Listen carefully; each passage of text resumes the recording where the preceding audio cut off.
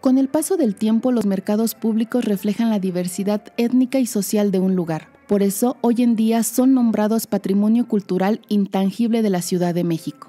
Lugares llenos de colores, sabores y olores que son una tradición y autoemplean a pequeños comerciantes en 329 mercados públicos tradicionales y especializados ubicados en las 16 delegaciones.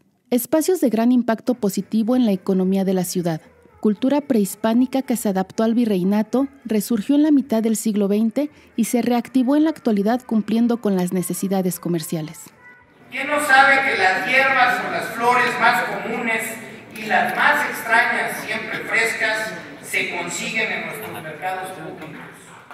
Sitios que constituyen un ser eminentemente económico y su estructura de comercio ancestral levanta el patrimonio monetario de miles de familias que proporcionan un importante servicio público para el abasto y el desarrollo de la cultura mexicana. Lo que me corresponde subrayar, en cambio, es el trabajo duro y honesto que también todos los días sucede en el mercado. Esa jornada que para muchos amanece a las 4 de la mañana para surtir el local, para encontrar el mejor precio y la mejor calidad.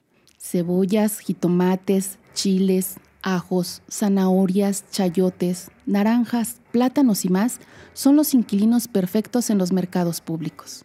Como solía decir un francés que sabía de historia, el mercado hace ciudad, la ciudad hace nación y las naciones son el mundo pero todas ellas, sin importar etnia, tamaño, idioma, religión o medallas olímpicas, todas han sido construidas en torno a sus mercados. Con información de Verónica Torres Lizama e imágenes de Eric Gómez, Notimex.